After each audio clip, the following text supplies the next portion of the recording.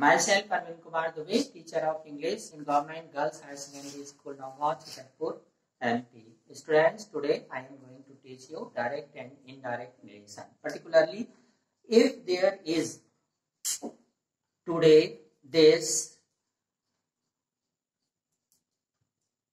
here, and so on. These types of words is changed into representing distance. So see on board.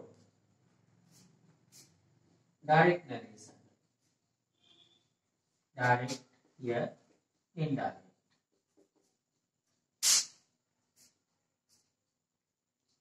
Nearness. Distance. Nearness, distance. It may be adjective oblique adverb. Here, adjective oblique adverb.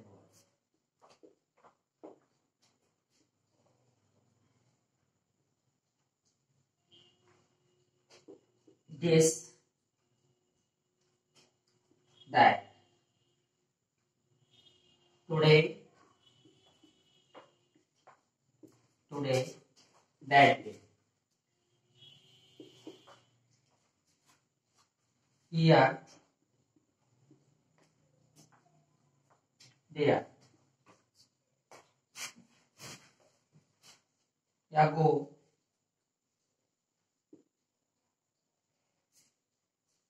before, tomorrow, tomorrow, the next day, yesterday, yesterday, the previous day, and so on.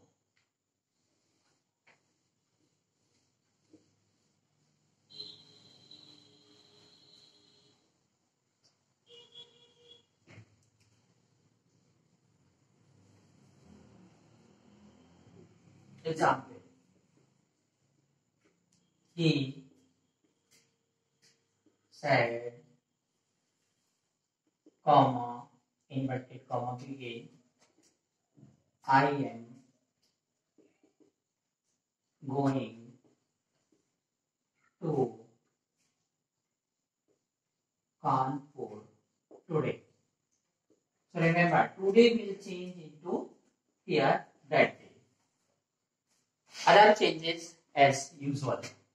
He said that reporting his speech is in past tense, then present continuous tense will be in past continuous tense. Here sun formula. First person pronoun is changed according to subject. Second person pronoun you is changed according to object. Here object is not given. Third person pronoun he, she, it, they require no change. He said that he was then continuous tense is changed into past continuous tense. He was going to Kanpur Kanpur today that day. And here full stop. So whole present tense was changed into past tense when reporting speech is in past tense. Now, if another rule, if reporting speech, if reporting speech is in past tense, past tense and inside reported speech. Reported speech past indefinite tense.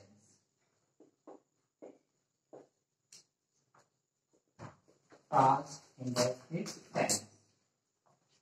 Past indefinite tense is changed into past perfect tense. So I repeat again, past indefinite tense is changed into past perfect tense. Fourth rule. Past indefinite. Past indefinite is changed into past perfect tense. See here structure affirmative sentence. Affirmative sentence. Subject plus V2 plus object will change into subject plus head plus V3 plus object. I am taking one example.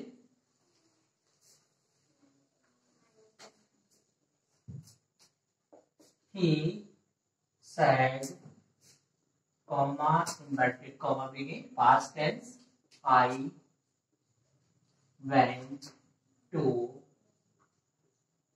church. I went to church. Full stop, double inverted comma, closed. So, he said that first person according to subject that he had he had gone he subject had v3 he had gone to church. He had gone to church. And past continuous tense is changed into past perfect continuous and past perfect tense and past perfect continuous tense require no change in tense. Thanks. See you tomorrow.